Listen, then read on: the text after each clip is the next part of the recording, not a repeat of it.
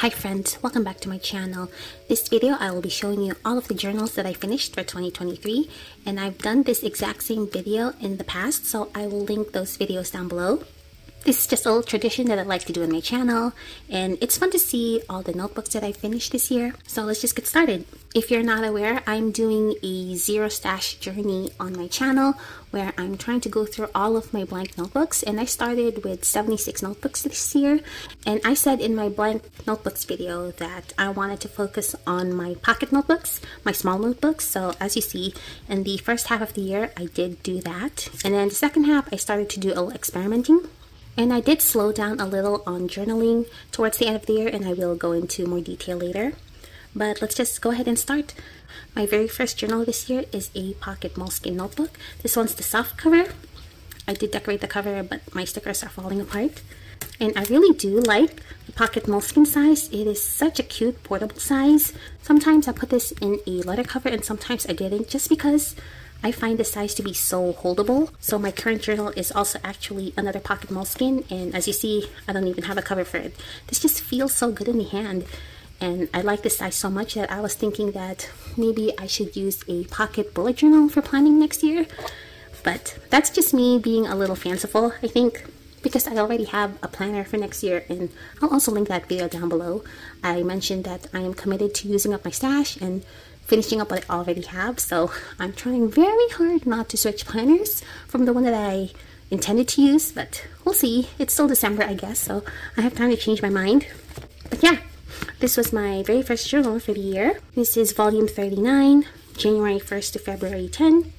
And then I cut down a package of Pocky and just pasted it into my journal. I like doing that in my journal, so Looks like a box of candy. That's so cute.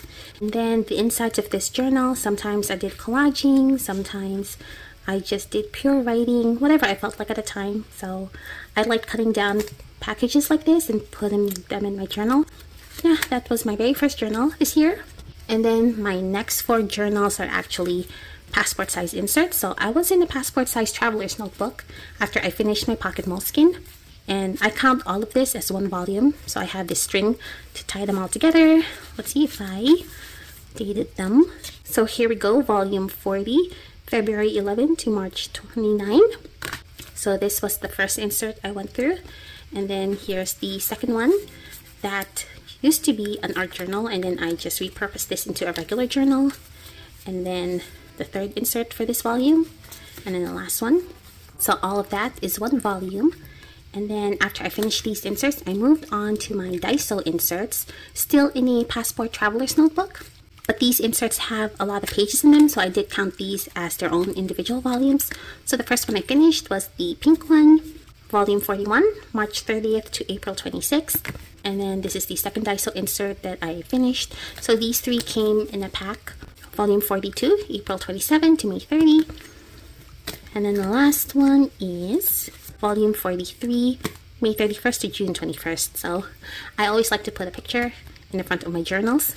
And then once I finished these inserts, I decided to try something different.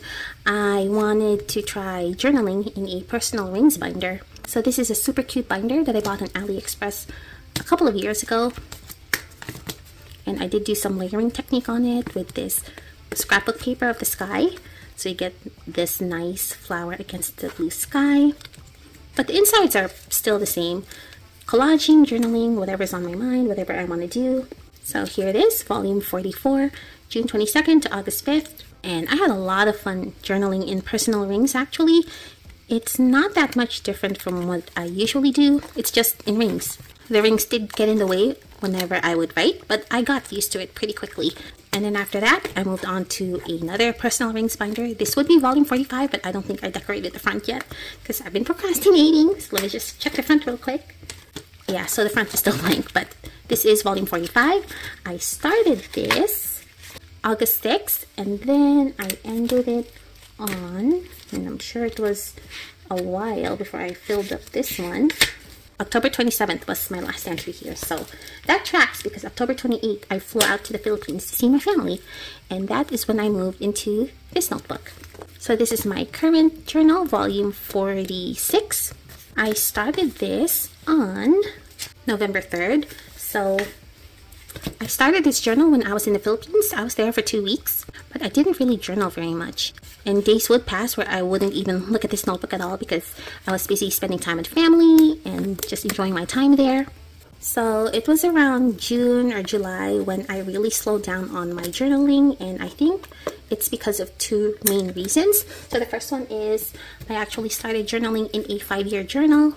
Let me just take it out of my cover this one right here. So I did personalize it a little bit because I actually dropped this on the kitchen floor and then the spine cracked open here. So I had to repair this and I just put some tape on the spine. But anyway, I started this five-year journal in the middle of June and I've been very consistent with it. So here we go, June all the way up until now. So I make it a point to fill this out every day. And that really helped me a lot because I didn't feel the pressure to do long form journaling anymore because it does take time and sometimes I get busy or I'm just too tired or I want to do something else. So as long as I write in my five year journal, I don't feel the need to journal in my daily journal so much. Then the second reason why I slow down on journaling is because life just started ramping up for me in the summer. I had a friend who came over and visited, so we spent the weekend at a hotel together. That was so much fun. And that was the time when I really fell off on journaling because I wanted to focus my attention on her and just focusing on having a good time. After that, we were actually supposed to go to Hawaii for a wedding in August, but unfortunately, the week before the wedding is when the wildfires happened, so that got canceled. But preparing for that still took a good bit of my attention as well. And then November, we flew to the Philippines for two weeks, and then we went on another trip for Thanksgiving. So life has just been super busy for me, and I didn't necessarily have the time or energy to sit down and write all about it. Again, as long as I was putting it in my five year journal and also my planner, I didn't feel the need to use my daily journals for them. That said, I am still journaling, it's just not as much. I've only filled up this much of my current journal. So I still have a long way to go. I did use the back for note taking. I recently read the book Digital Minimalism by Cal Newport, so it's a bit of a mess, but here are my notes. And I really like that book. I'm glad that I read it because I had so many takeaways from that book. So I do use the back for random notes, and then the front is for my personal journaling. But I have definitely slowed down on my journaling, and I'm perfectly happy with that. That just frees up a lot more time for me to do other things and pursue other hobbies. I've been getting back into crochet. I've gone back into reading. I'm playing a new to me game right now, so that's been a lot of fun. And I still love journaling, but I also want to make room for other interests too. With that being said, for 2023, I went ahead and finished one, two, three, four, five, six, seven, eight, nine, ten journals, plus the one that I'm currently working on. And that's not bad at all. I don't usually pressure myself to finish however many journals in the year. It's just however many I filled. But that being said, since I am on my zero stash journey, I did go ahead and do the math on my current blank notebooks. And I just have it here on a piece of paper. So since my last update in October, I have 63 notebooks remaining. I already counted off the 10 journals I completed from that number. But since then, I did start two notebooks. So my current Pocket Moleskine. And then the last time, I think I forgot to count my reference insert for my Hobonichi Weeks, which is over here. So I'm just gonna go ahead and count that. So I started two notebooks since then. And then I also decluttered five notebooks because when I was going to the Philippines, my mom asked me if I had a spare notebook for her to use while we were there. And of course I did because I had so many. So she took one and then I took four more to bring over for my other relatives and they did take them. So that was nice. And then I have two notebooks. The first one is a standard traveler's notebook insert that I got from this traveler's notebook. I bought this in the Philippines. I went to the fully booked bookstore in BGC and I was pleasantly surprised that they sold traveler's notebooks. So I had to get the black one. So this was my stationery souvenir from my trip there. And then I also made this insert for a little travel journal when my friend came to visit, but as you see, I barely started it, so I don't know if I'm going to use this as a travel journal anymore or maybe just repurpose this into a regular journal, but either case, I do have this. So I'm going to go ahead and add this to my stash. So I have two new notebooks and that brings my number to 58 notebooks remaining, which at the start of the year, I had 76. So that is minus 18. I think that's pretty good progress, especially when I slow down on my journaling the second half of the year. And I am still committed to going through my stash. It's probably to go slower than how it was previous years just because, again, I'm putting in my energy towards other hobbies and also we do have very big plans for next year. So I'm not sure if I'm going to be able to dedicate as much time to this hobby as I have. It was really easy for me to sit down and play a lot with my notebooks when the pandemic was happening and we were stuck at home and my baby was still small and I didn't really have as much to do, I felt like.